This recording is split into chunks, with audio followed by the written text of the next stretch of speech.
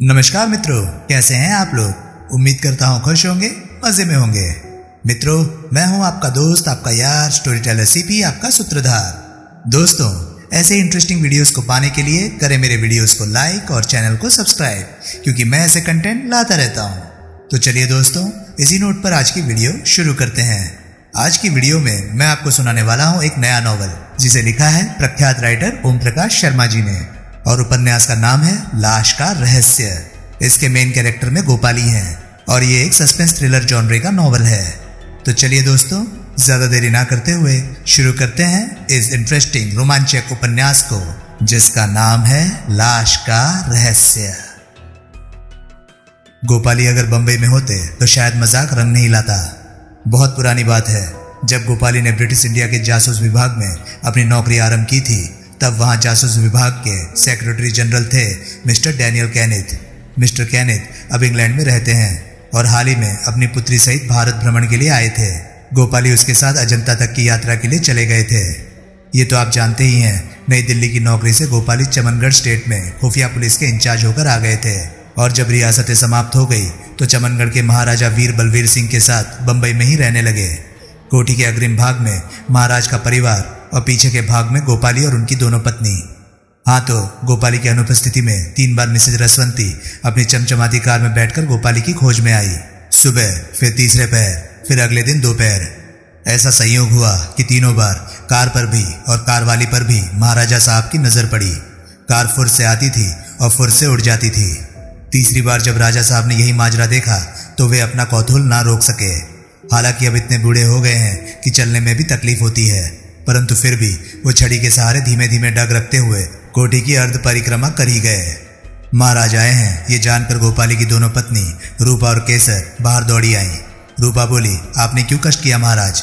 नौकर से कहलवा देते और केसर ने लॉन में पड़ी बेंत की कुर्सी उनके लिए बिछाते हुए कहा, बैठिए महाराज। वो जो अभी अभी आई थी, तुम दोनों जानती हो उसे? नहीं तो महाराज, वैसे वो पहले भी दो बार आ चुकी हैं। उन्हें पूछ रही थी। महाराज ने अपनी छड़ी उठाकर ज़मीन में पटकते हुए कहा सवाल यह है कि क्यों पूछ रही थी? मासूमियत के से अंदाज से? रूपा ने कहा, वो सब उन्होंने नहीं बताया, नाम तक नहीं बताया। कहने लगी, फिर आऊँगी। महाराज ने छड़ी फिर पटकी। गोपाली उन चोरों में से है, जो ना चोरी छोड़ सकता है, ना हेरा फेरी। भला ये भी कोई बात हुई? और तुम दोनों तुम दोनों मिलकर डांटती क्यों नहीं गोपाली को? भला सोचो, क्या गोपाली की आयु ये सब बखेड़े करने की है? लेकिन वो वो नहीं सुधर सकता। केसर ने पूछा, उस स्त्री को आप जानते हैं महाराज? हाँ कौन है? रसवंती। रसवंती? नाम में रस लेते हुए रूपा ने कहा, नाम तो सचमुच बढ़िया है, महाराज। महाराज ने फिर छड़ी पटकी। लेकिन ये सब झंझट गोपाली को नहीं पालने चाहिए। मेरा कहना ठीक नहीं रहेगा। तुम दोनों गोपाली को समझाना। मैं मानता हूँ कि गोपाली का इश्क रोग लाइलाज है, लेकिन जहाँ तक रसवंती का सवाल है, वो सागर चंद्र की पत्नी है। सागर चंद्र कौन? उत्सुकता से रूपा ने पूछा। वो जोरी तो नहीं? ना ना, वो तो बूढ़ा है। कोई और सागर चंद्र होगा। केसर ने अनुमान प्रकट किया। हाँ हाँ वही सागर चंद्र जौहरी, रसवंती उसी की पत्नी है। बूढ़ा हुआ तो क्या हुआ? बूढ़ों के क्या जी नहीं होता? गोपाली से कहना कि मैं कह रहा था, सागर चंद्र अपना आदमी है। यूँ मैंने कई बार रेस कोर्स में भी नोट किया है कि ये दोनों गड़बड़ लाइन पर चल रहे हैं, लेकिन अब तो हद हो गई। मैं उनके आते ही आपका हुक्म सुना दूँगी। केसर बोली, सिर्फ़ हुक्म सुना देना ही काफ़ी नहीं है। महाराज, हम दोनों मिलकर उन्हें मजबूर करेंगे कि वो आपके हुक्म का पालन करे। महाराज उठे, बोले हाँ कोशिश करना। फिर जैसे वो अपने आप से बोले, बेचारा सागर चंद्र। महाराज तो चले गए, परंतु केसर और रूपा को हंसने हंसाने का मसाला दे गए। शेष पूरे दिन इसी बात पर चूहल होती रही। साँझ होने से पहले ही गोपाली भी अजंता से लौट आए। उपहार की अनेकों वस्तुओं के अतिरिक्त औरंगाबाद से दो साड़ियाँ भी लाए थे, दोनों पत्नियों के लिए। केसर ने बात छेड़ी। एक स्त्री आपको पूछने तीन बार आ चुकी है। स्त्री, उछलकर सीने पर हाथ रखते हुए गोपाली ने पूछा, क्या बच्चों की तरह उछल कूद मचाया करते हो? डपट कर रूपा ने कहा महाराज शिकायत कर रहे थे। उस स्त्री का नाम रसवंती है। ओह, मिसेज रसवंती? गोपाली की बात सुनी अनसुनी करके रूपा ने कहा, महाराज का कहना है कि उस स्त्री का पति सागर चंद्र जोहरी, उनका अपना आदमी है। कोई गड़बड़ नहीं होनी चाहिए। गड़बड़ कैसे नहीं होगी? बराबर होगी। गोपाली बोले लेकिन क्या वाकई मिसेस रसगुल्ला आई थी?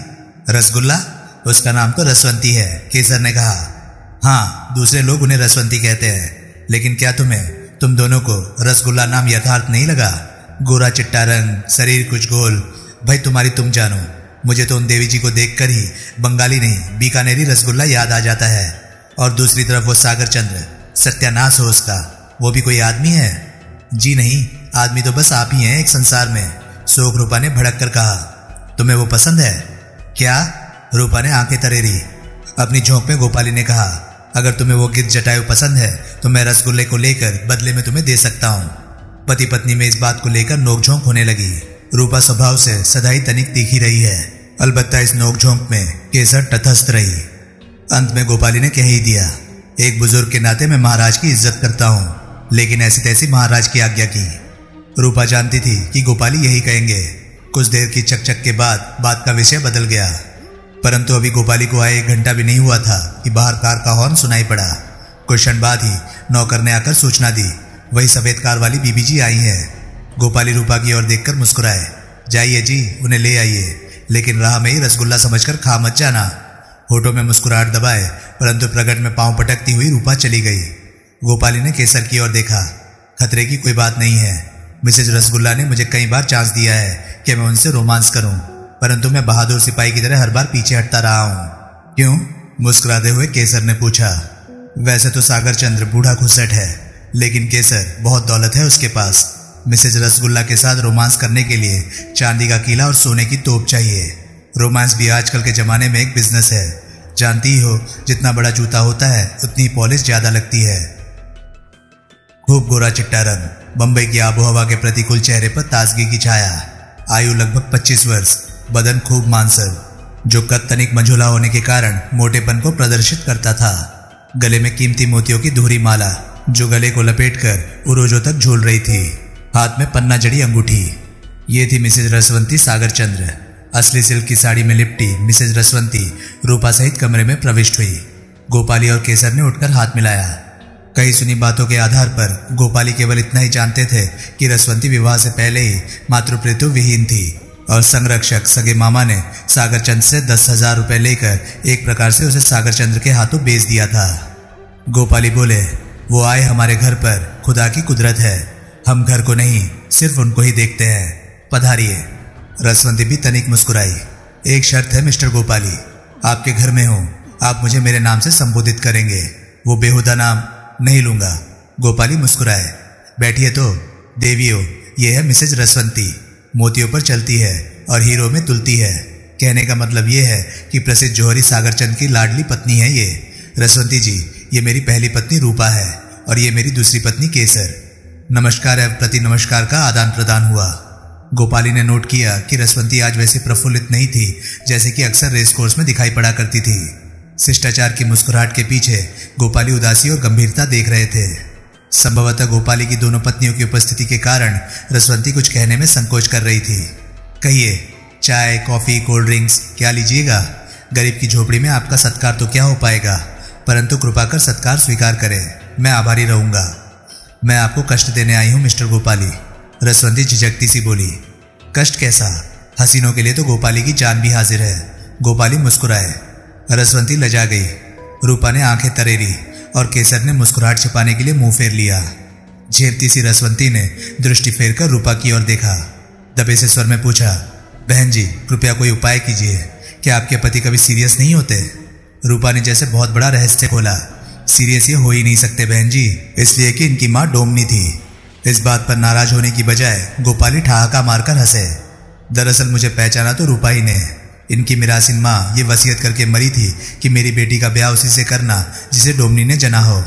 मिरासिन होगी तुम्हारी माँ, झल्लाकर रूपा बोली। जी नहीं, आप जानती ही है कि मेरी माँ डोमनी थी। हाँ तो आप कुछ कहने जा रही थी मिसेज रसगुल्ला। क्षमा कीजिए मिसेज रसवंती। आप, क्षमा चाहता हूँ, सचमुच रसगुल्ले वाली बात मुँह से निकल जाने का मुझे दुख है। कुशन कमरे में मौन रहा। मिस्टर गोपाली, मैं मैं आपसे सहायता मांगने रसवंती समझ नहीं पा रही थी कि वो गोपाली की पत्नियों की उपस्थिति में अपनी बात कहे या ना कहे। हाँ हाँ फरमाइए। मेरे पति हाँ हाँ आपके पति, क्या हुआ उन्हें? पाँच रोज से गायब है। गोपाली चौके। गायब? गायब का क्या मतलब हुआ? मतलब साफ़ है, वो पाँच दिन से लापता है। उस रात वो मुझसे ये कहकर गए थे कि देर से लौटेंगे, लेकिन अभी तक नहीं लौटे। गोपाली, जो रसवंती के ख्याल से कभी गंभीर ही ना होते थे, प्रथम बार गंभीर दिखाई पड़े। अजीब सी बात है। वो बोले, बंबई जैसे शहर में कोई नामी व्यक्ति इस प्रकार गायब हो जाए। आपने पुलिस में रिपोर्ट की? जी नहीं। क्यों? अगर मैं वैसा करती तो बात अखबारों तक पहुँच जाती। मैंने तो घर और फर्म के नौकर चाकरों को भी ये सब नहीं बताया है। लेकिन पुलिस को तो बताना चाहिए था क्या ऐसा करने से फर्म की प्रतिष्ठा को धक्का नहीं लगता। कुछ साल पहले बंबई की एक प्रसिद्ध दुकान किसी कारणवश बंद हो गई तो सारे में यह अफवाह फैल गई थी कि लाला जी का दिवाला निकल गया। मेरे पति का व्यापार केवल साख पर कायम है। ये सब बेकार की बातें हैं। पहला काम ये हो कि ये सूचना तुरंत पुलिस को दी जाए। आप पुराने जासूस हैं, मेरे मित्र हैं। मैं आपके पास इस आशा से आई थी कि आप उन्हें चुपचाप खोज निकालेंगे। रसवंती के स्वर में निराशा थी। दृढ़ स्वर से गोपाली बोले, मैं वैसा प्रयत्न करने का वादा भी करता हूँ। ओह, रसवंती थकी सी मुस्कुराई। मैंने तो समझा था कि आप मुझे टाल देना चाहते हैं। कह चुका हूँ कि आपके लिए जान भी हाजिर है। परंतु ये आवश्यक है कि आप मेरी सलाह माने। पुलिस को सूचना देनी आवश्यक है। पुलिस का सहयोग लेना आवश्यक है। तब जैसी आपकी इच्छा हो वैसा करें। वो मिल जाए और फर्म की साख को बट्टा ना लगे। आशा है कि ऐसा ही होगा। गोपाली बोले, रूपा, जरा इंस्पेक्टर रुस्तम को फ़ोन तो करो। रसवंती जी, इंस्पेक्टर रुस्तम एक प्रकार से मेरे शिष्य हैं और आप उन पर उतना ही विश्वास कर सकती हैं जितना मुझ पर। उन्होंने फिर फ़ोन का डायल घुमाती रूपा से कहा रुस्तम से कहना कि अगर सुविधा भी हो तो मुझसे आकर मिल ले। बात इतनी सुलझी हुई नहीं थी जितनी की रसवंती के कथन से प्रकट होती थी। सहयोग ये हुआ कि गोपाली के शिष्य समान इंस्पेक्टर रुस्तम जहांगीर सूरत वाला उस समय छुट्टी करके घर जा ही रहे थे, जबकि रूपा द्वारा उन्हें फ़ोन किया गया। फलस्वरूप, वो लगभग 20 मिनट बाद ही आ पहुँचे। गोपाली महाराज से नहीं, अपने आप से डरते थे। फलस्वरूप, उन्होंने रसवंती से आगे की बातचीत महाराज के सम्मुख ही की। ताकि रसवंती से उनका मेलजोल कहानी ना बन जाए। इंस्पेक्टर रुस्तम के आने पर सभी महाराज की बैठक में पहुँचे। वही रसवंती ने सागर चंद्र के विषय में विवरण दिया। रसवंती ने बताया कि सागर चंद्र अक्सर आठ बजे घर लौटा करते थे और सदाई उनके साथ उनकी सेक्रेटरी कुमुद हुआ करती थी। उस दिन दिन छुपने से पहले ही सागर चंद्र घर लौट आए थे। साथ में कुमुद भी थी। उसने तथा सागर चंद्र और कुमुद ने साथ साथ खाना खाया। नियम अनुसार खाने के बाद सागर चंद्र थोड़ी देर अपनी कोठी के बाहर लॉन में टहला करते थे। परंतु उस दिन समय से पहले ही खाना खाकर उन्होंने रसवंती से कहा कि उन्हें कुछ काम है, लेकिन गाड़ी नहीं ले जाएँगे और रात में देर से लौटेंगे। उसे आश्चर्य नहीं हुआ, इसलिए कि कुमुद से सागर चंद्र के संबंध रखेल जैसे थे। कई रात कुमुद सागर चंद्र के साथ ही उसकी उपस्थिति में भी कोठी में ही रहती थी। रात भर वो आराम से सोती रही, परंतु प्रातः जब सागर चंद्र ना लौटा तो उसे चिंता हुई। अगले दिन सुबह दस बजे वो पता लगाकर माहिम पहुँची, जहाँ कुमुद रहती थी। कुमुद के पति ने बतलाया कि वो भी कल से अभी तक नहीं लौटी। अगर ऐसा ही होता तो कोई चिंता नहीं थी, परंतु उसी साँझ कुमुद का पति कोटी पर आया और उसने चौंका देने वाली सूचना दी। उसने बताया कि कुमुद की हत्या हो गई। परंतु हत्या का जिस ढंग से कुमुद के पति ने विवरण दिया, उससे ऐसा आभास नहीं मिलता कि सागर चंद्र उसके साथ था। लाश कल्याण स्टेशन पर अंतिम लोकल ट्रेन के कंपार्टमेंट में मिली। कुमुद के पति ने बताया कि वह अभी अभी लाश का दाह संस्कार करके लौट रहा है। पुलिस अभी तक हत्यारे को नहीं खोज पाई है। लाश ट्रेन के जनाने डिब्बे में मिली।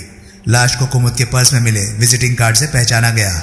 विजिटिंग कार्ड के अनुसार, police Sagar Chandra and company की दुकान पर पहुँची और वहीं से मेरा पता लगा।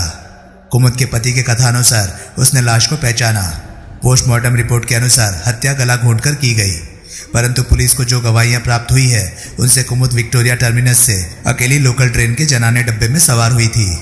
दादर तक उसमें और भी कई स्त्रियाँ थी, परंतु माटुंगा में वो अकेली रह गई थी और कल्याण में गाड़ी साफ़ करने वाले स्वीपर ने पुलिस को लाश की सूचना दी।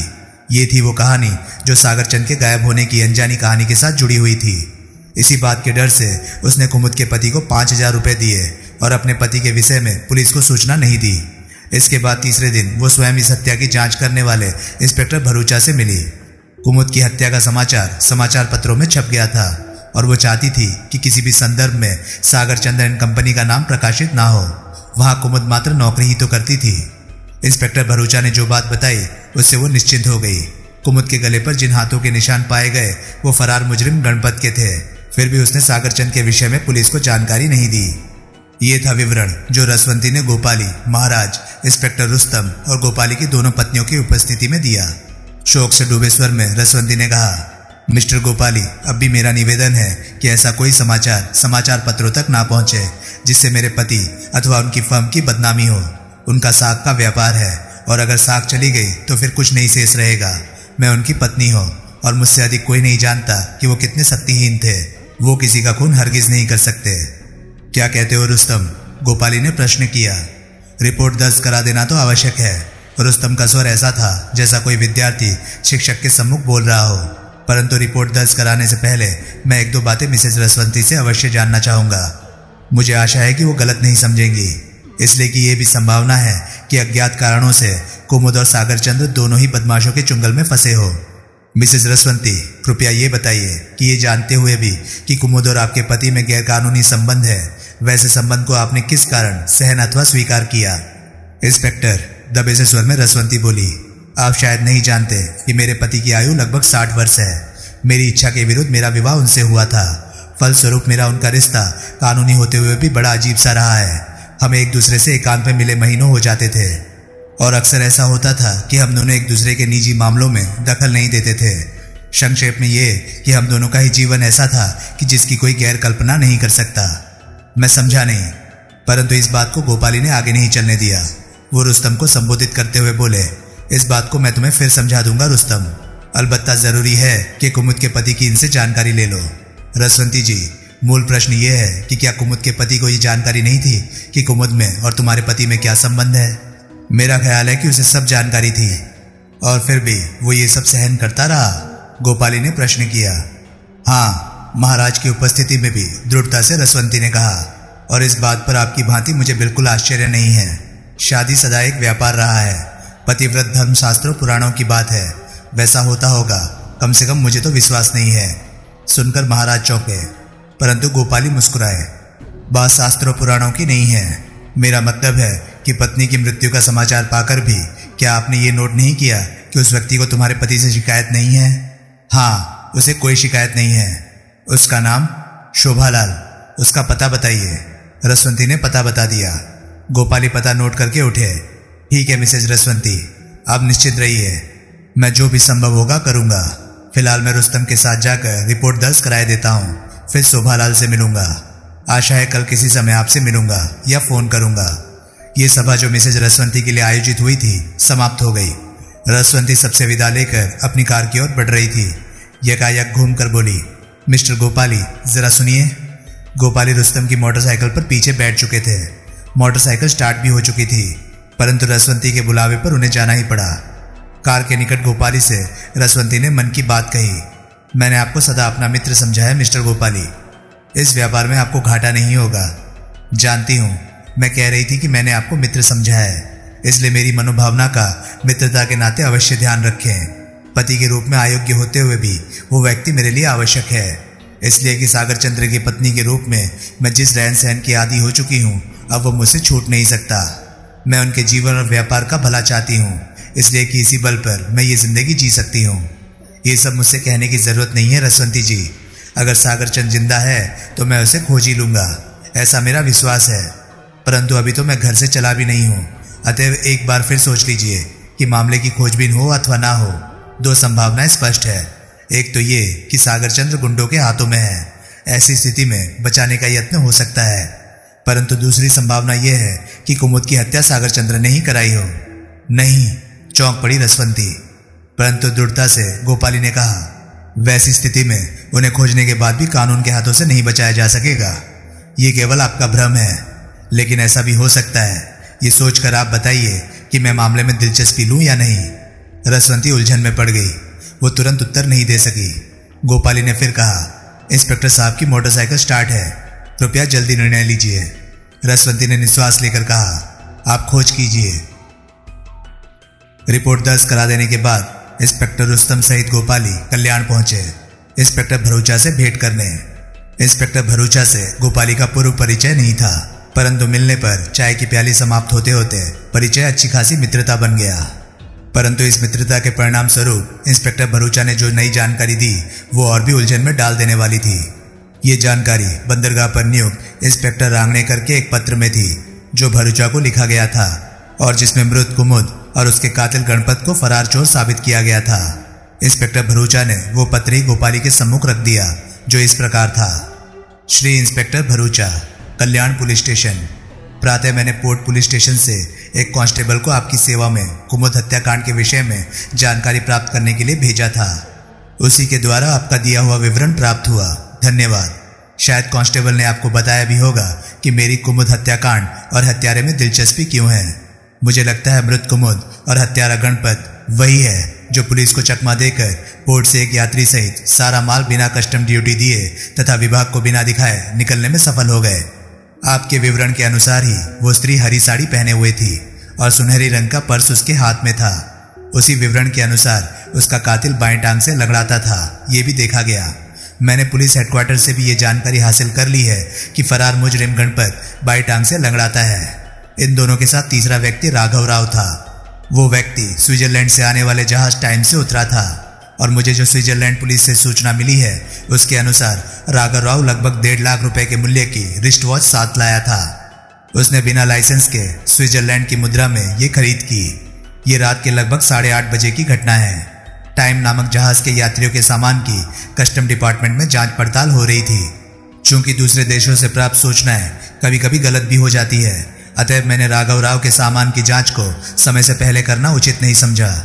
उस समय मैं एक दूसरे व्यक्ति की छानबीन में व्यस्त था और फिर वो कांस्टेबल, जिसे मैंने राघव राव की निगरानी के लिए नियुक्त कर रखा था, मेरे पास दौड़ा आया और मुझे बताया कि राघव राव के दोनों सूटकेस, एक स्त्री और पुरुष, उठाकर गोदी गोदाम की ओर ले जा रहे हैं। जैसे ही हम दोनों उधर की ओर बढ़े, ये जाना कि राघव राव भी प्रतीक्षालय में नहीं है। राह में मैंने कई सिपाहियों को साथ ले लिया था, परंतु फिर भी मैं चूक गया। दरअसल मैं ये समझ रहा था कि राघव राव के साथ ही अपना माल छुपाने के लिए किसी गोदाम की ओर गए होंगे। मैं ये देखता रहा कि कोई गोदाम शेड खुला हुआ तो नहीं है और इसी दौर में वो तीनों बंदरगाह के कर्मचारी गेट से निकल ही तो गए। लगभग पाँच मिनट बाद मैं कर्मचारी गेट पर पहुँचा। वहाँ पहुंचकर जाना कि टाइम कीपर को एक हज़ार रुपये की रिश्वत राघव राव के साथियों ने दी थी। चौकीदार के विरोध के बावजूद टाइम कीपर ने उन्हें बंदरगाह से निकलकर टैक्सी कार में बिठा दिया। टाइम कीपर से एक हज़ार के नोट बरामद हो चुके हैं। उसका कहना है कि वो औरत जिसने उसे एक हज़ार रुपए दिए, उसकी पूर्व परिचित नहीं थी। तीन दिन पहले वो औरत उससे मिली थी और रिश्वत लेकर काम करने का ये मामला तय हुआ था। टाइम कीपर जेल में है। अगर आप चाहें तो उससे मिल लें। उस रात में पूरे पाँच घंटे तक टैक्सी कार की खोज में जीप दौड़ाता रहा, परंतु सुराग न पा सका। और दुर्भाग्य की बात यह है कि मैं उस औरत की हत्या के विषय में तब जान सका जब वो जलकर राख हो गई। मेरा ख्याल है कि उस स्त्री का तस्करी साइड बिज़नेस था। और प्रकट में वो नौकरी करती थी। मैंने उसके पति शोभालाल से भी बातचीत की। परंतु बातचीत के बाद इस निश्चय पर पहुँचा कि वो शराबी और जुआरी किस्म का व्यक्ति है। कुछ काम नहीं करता। पत्नी उसे कमाकर खिलाती थी। वो केवल इतना जानता है कि उसकी पत्नी नौकरी करती है। संयोगी समझिए, जब मैं चौकीदार के बयान पर विचार कर रहा था, तभी मुझे अखबार में ये खबर पढ़ने को मिली कि कल्याण स्टेशन पर एक स्त्री मृत पाई गई है, जो हरी साड़ी पहने थी, और सुनहरी रंग का पर्स उसकी बाह में लटका हुआ था। हरी साड़ी और सुनहरी पर्स। उस स्त्री के विषय में ऐसी जानकारी चौकीदार ने दी थी। उसके साथ का व्यक्ति बाई टांग से लंगड़ाता था। चौकीदार की बात की पुष्टि पुलिस हेडक्वार्टर करता है। पत्र के साथ ही मैं राघव राव का फ़ोटो पासपोर्ट विभाग से प्राप्त करके आपको भेज रहा हूँ। अगर वो व्यक्ति मिल जाए तो हत्यारे गणपत को ढूंढना आसान होगा। वैसे मामला बिल्कुल स्पष्ट ही लगता है कि वो लोग अपनी तरकीब से लाखों रुपया कमाने में सफल हुए थे। परंतु शायद हिस्सा बांटने में कुछ झगड़ा हुआ और यह हत्याकांड हो गया। राघव राव और गणपत की गिरफ्तारी के लिए मेरा हर सहयोग आपको मिलेगा। कृपया स्थिति से सूचित करते रहें। शुभाकांक्षी एच आर रांगणेकर। धन्यवाद। पत्र इंस्पेक्टर भरोचा की ओर बढ़ाते हुए गोपाली ने कहा, क्या हत्यारे गणपत की खोज में कोई प्रगति हुई है? प्रगति? भरूचा ने अपना माथा ठोकता हुआ कहा, प्रगति ना हुई है और ना होगी। मिस्टर गोपाली यह हत्याकांड मेरी नौकरी खलास कर देगा। अरे, भला ऐसा क्यों सोचते हो? मुस्कुराकर गोपाली ने पूछा ऐसा सोचा नहीं है। ऐसा होने के आसार देख रहा हूँ। सुप्रिंटेंडेंट साहब कहते हैं, मुझे हत्यारे को खोजना ही पड़ेगा। वो बोलते हैं, जब तक हत्यारा मिल नहीं जाता, तुम्हें दूसरा काम नहीं करना है, और हत्यारा मुझे मिल नहीं सकता। क्यों नहीं मिल सकता? इसलिए कि छह बार वो पुलिस के हाथों पड़ा और हर बार साफ़ निकल गया। बम्बई के अच्छे अच्छे पुलिस इंस्पेक्टर को उसने चूना लगाया है। Inspector Adil ji, inspector Joseph और इंस्पेक्टर माणे ऐसे ऐसे धाकड़ लोगों को चमका देने वाला क्या मुझे मिलेगा? हिम्मत कायम रखिए। जी हाँ हिम्मत ही तो कायम है। सारे दिन गणपत के पुराने रिकॉर्ड से मगजमारी करता रहा हूँ और बाद में उसी के सपने देखता हूँ। मेरी बात तो छोड़िए। मैं तो हुई जस्ट लाइक गधा। आप तो जोहरी सागर चंद के बारे में ही खोजबीन कर रहे हैं ना? लेकिन तस्वीर में तो कहीं सागर चंद नहीं है। जी हाँ अभी तक तो बात कुछ बनती नज़र नहीं आती। इंस्पेक्टर रुस्तम ने भी अपना मौन तोड़ा। मेरी राय में तो सागर चंद का मामला इस मामले से बिल्कुल अलग है। वो घर से कुमुद के साथ चला। संयोग भी तो हो सकता है। बेशक संयोग ही तो है। भरूचा ने रुस्तम की बात का समर्थन किया। संयोग नहीं है। दृढ़ और गंभीर स्वर में गोपाली बोले, हरगिज संयोग नहीं है। सागर चंद भी ये कहा गोपाली कहते कहते बात बदल गए। छोड़िए इस चक्कर को। आपका बहुत बहुत धन्यवाद, मिस्टर भरूचा। क्षमा कीजिएगा, मिस्टर गोपाली। कहते कहते आप बात को पचा गए। इंस्पेक्टर भरूचा कहते हुए गोपाली को ताक रहे थे। जी हाँ और अब तो पची गई। जो बात कहना चाहता था, वो अब नहीं कहूँगा। अलबत्ता संयोग हरगिज नहीं है। सागर चंद इतना आलसी जीव था कि रात के खाने के बाद अपने लॉन में ही थोड़ी देर टहल लिया करता था। परंतु उस दिन खाने के बाद वो बाहर गया। एक बात, परंतु रुस्तम ने टोका, सुन लो भाई जरा, दूसरी बात, पैदल चलने का वो आदि नहीं था। फिर भी वो कार नहीं लेके गया। केवल ये दोनों बातें ही साबित कर देती हैं कि सागरचंद का प्रत्यक्ष या परोक्ष तस्करी के धंधे से संबंध था। वो कुमुद के साथ इसी फिराक में गया था। वो अपनी कार सिर्फ़ इसलिए नहीं ले गया था कि कहीं कार पहचान न ली जाए। रुस्तम अब सागरचंद की आर्थिक स्थिति से परिचित था। फलस्वरूप, गोपाली की बात उसके गले से ना उतर सकी। लेकिन मिस्टर गोपाली, शिष्य ने नम्रतापूर्वक गुरु को चैलेंज किया। सागरचंद करोड़पति व्यक्ति है। उसका अच्छा खासा कारोबार है। क्या वो ऐसा धंधा कर सकता है? ज़रूर कर सकता है। वो व्यक्ति स्वभाव से ही अपराधी है। कैसे? रुस्तम चौंका।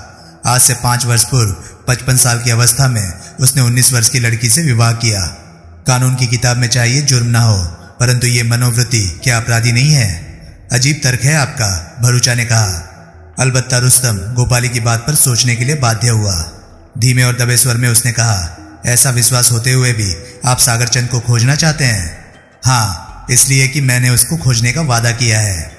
तब तो मिस्टर गोपाली, हम दोनों बकौल आपके एक ही मार्ग के यात्री हैं। क्या ख्याल है कि मिलकर काम करें? ख्याल अच्छा है, परंतु व्यवहारिक नहीं है। मेरे और आपके काम के ढंग में समानता नहीं हो पाएगी। आप कोई भी कदम उठाने से पहले ठोस सबूत एकत्र करेंगे, और मैं, जहाँ तक मेरा सवाल है, रेखा गणित के आधार पर काम करना पसंद करता हूँ। कल्पना करो कि दो समांतर रेखाएँ त्रिकोण बनाती हैं। त्रिकोण भरूचा चौका। मुस्कुराए गोपाली। आप नहीं समझेंगे, इंस्पेक्टर। लेकिन विश्वास कीजिए अगर सागर चंद की राह में मुझे कहीं गणपत मिला तो उससे ज़रूर कहूँगा कि भाई तुझे इंस्पेक्टर याद कर रहे हैं। दो समांतर रेखाएँ त्रिकोण बना सकती हैं? शायद नहीं। उत्तर हाँ भी हो सकता है। कैसे? रात हो चुकी थी, और गोपाली आज बहुत दिनों के बाद फिर मैदान में उतरे थे। घर से बिस्तरा बांधा, सूटकेस साथ लिया।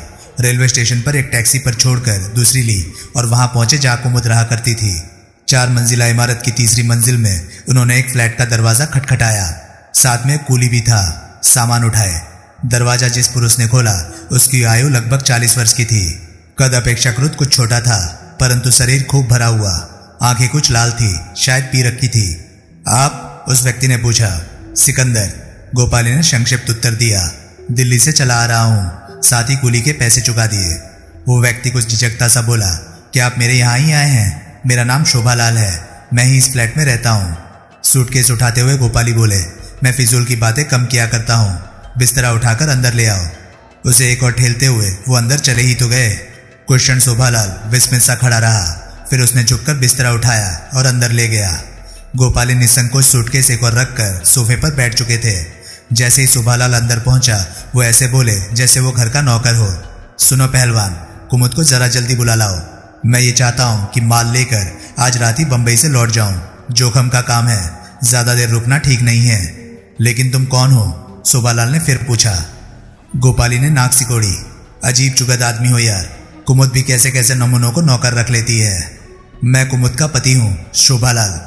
अरे, गोपाली फुर्ती से उठे और शोभालाल के निकट जाकर उसके चेहरे को अजीब सा मुँह बनाकर देखते हुए बोले, नंबर?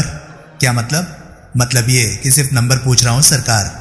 मानता हूँ कि कुमुद जो ना करे वो थोड़ा है। रावण ने ज़रूरत पड़ने पर गधे को बाप बनाया था। वैसे ही ज़रूरत पड़ने पर कुमुद गधे तक को पति बना सकती है। मुझे बिल्कुल ताजुब नहीं हुआ। लेकिन क्या उसने तुम्हें तुम्हारा पति नंबर नहीं बताया? कोई परवाह नहीं। मैं उसे पूछकर बताऊँगा। वैसे मैं उसका पति नंबर ग्यारह हूँ। इसी फ्लैट में मेरी भी दो बरसात की रातें बीती हैं। खैर, उसे जल्दी बुला लो। लगता है शायद फ्लैट में नहीं है। तुम शायद अखबार नहीं पढ़ते हो। शोभालाल ने गोपाली से प्रश्न किया। मैं अपने धंधे में ध्यान रखता हूँ। इतना फालतू टाइम ही कहाँ है? जो अखबार के साथ मगज पच्ची करूँ। फिर जब से सोना ब्लैक में चला गया, तब से अखबार में रखा ही क्या है? कुमुद मर चुकी है। लड़खड़ाते से स्वर में शोभालाल बोला, गोपाली ने चौंकने के उपक्रम में कमाल किया। क्या बकते हो? उसकी हत्या हो गई। कुशन गोपाली एक टक विस्मय भरी दृष्टि से शोभालाल की ओर देखते रहे। सच? हाँ। सत्यानाश। चौंकने के पश्चात गम का अभिनय भी गोपाली ने बुरा नहीं किया। वो सिर झुकाकर सोफे पर बैठ गए। उनके निकट ही सुभालाल भी आ बैठा। पता चला किसने की उसकी हत्या। स्वर को गमगीन बनाकर गोपाली ने पूछा, गणपत ने? नामुमकिन। गणपत को क्या तुम उल्लू का पट्टा समझते हो? कुछ समझ में नहीं आता। अजीब बात है। क्या सचमुच? मज़ाक तो नहीं कर रहे हो यार? सुभालाल मौन रहा। गोपाली कहे जा रहे थे, हद हो गई। तो कुमुद मरी गई। चलो छुट्टी हुई। लेकिन यार मानना पड़ेगा कि खुदा के यहाँ भी इंसाफ नहीं है। भला ये कोई इंसाफ हुआ? आखिर उस औरत ने इतने गुनाह किए थे। उनका कुछ तो फल उसे इस दुनिया में ही मिलना चाहिए था। हरगिज नहीं, इतनी आसान मौत उसे नहीं मिलनी चाहिए थी। इसका मतलब ये हुआ कि अल्लाह मियाँ के यहाँ भी अच्छी सूरत के साथ रियायत होती है। हर जगह रिश्वत चलती है। कहीं नोट चलते हैं, कहीं तिरछी नज़रें चलती हैं। तो मर गई ना, छुट्टी हुई। शोभालाल भिन्ना कर बोला, अजीब आदमी हो। ये जानते पूछते भी कि बेचारी मरने वाली सुन नहीं रही है। अपनी ज़ुबान गंदी किए जा रहे हो। भले आदमी उसकी आत्मा की शांति के लिए दुआ करो। ख्याल अपना अपना, पसंद अपनी अपनी। मेरा ख्याल है, उस औरत में आत्मा नाम का पंछी था ही नहीं। लेकिन फिर भी मैं तुम्हें नाराज़ नहीं करूँगा। पीने को कुछ है? नहीं। कटु स्वर में शोभालाल ने उत्तर दिया। तब तो मुझे अफसोस है। नशे में तो शायद मैं बकी देता कि खुदा उसकी रूह को जन्नत नसीब करे। तुम्हारे पास है नहीं और दूसरी किसी जगह मिल नहीं सकती। सुन लिया ना, मुझे अफसोस है। होशो हवास में मैं दुआ नहीं कर सकता कि उसकी रूह के साथ अल्लाह मियाँ कोई रियायत करे। अच्छा प्यारे तो हम चले। खुदा हाफिज। गोपाली उठे और उन्होंने अपना सूटकेस उठा लिया। सुनो, उठकर शोभालाल ने टोका। सुनाओ, तुम यहाँ किसी काम के लिए आए थे ना? हाँ आया तो काम से ही था, लेकिन किसी के मरने जीने से कारोबार तो बंद होते नहीं। मुझसे कहो, शायद मैं कुछ मदद कर सकूँ। क्वेश्चन गोपाली ने सोचने का दिखावा किया, फिर सूटकेस रख दिया। और आतुरता प्रकट करते हुए कमरे में टहलते रहे। फिर उन्होंने दस पैसे का एक सिक्का जेब से निकाला और उसे उछालकर टॉस किया। फिर सिक्के को फर्श से उठाकर शोभालाल को दिखाते हुए गोपाली बोले, शेर, क्या मतलब? मतलब ये कि फ़ौरन कोई फैसला नहीं कर सकता। मैं लौटकर दिल्ली जा रहा हूँ, अपने पार्टनर से सलाह करूँगा। मुसीबत क्या है? आखिर आए तो माल लेने के लिए ही थे? हाँ आया तो इसीलिए था। रुपए भी साथ लाए होंगे? हाँ हाँ रुपए ज़रूर साथ लाया हूँ। लेकिन मेरा व्यापार था कुमुद से। नकद व्यापार था ना? शोभालाल ने फिर उत्सुकता से पूछा। बेशक, नकद व्यापार था। उधार का व्यापार तो मैंने अपने सगे बाप से नहीं किया। लेकिन अब मैं इस व्यापार को छोड़कर अफीम का काम करूँगा। नमस्ते। तो दोस्तों, ये था लाश का रहस्य नॉवल का पहला पार्ट। ये उपन्यास आपको कैसा लग रहा है, प्लीज़ कमेंट सेक्शन में अपनी राय मुझे ज़रूर बताएँ। और हाँ अगर आपको मेरे वीडियोस पसंद आ रहे हैं तो प्लीज़ उन्हें लाइक कीजिए और चैनल को सब्सक्राइब कीजिए, क्योंकि मैं ऐसे कंटेंट लाता रहता हूँ। तो चलिए दोस्तों, मैं मिलता हूँ अब आपसे अगली वीडियो में। तब तक के लिए नमस्कार गुड बाय सेफ़ रहिए, खुश रहिए, मज़े करिए।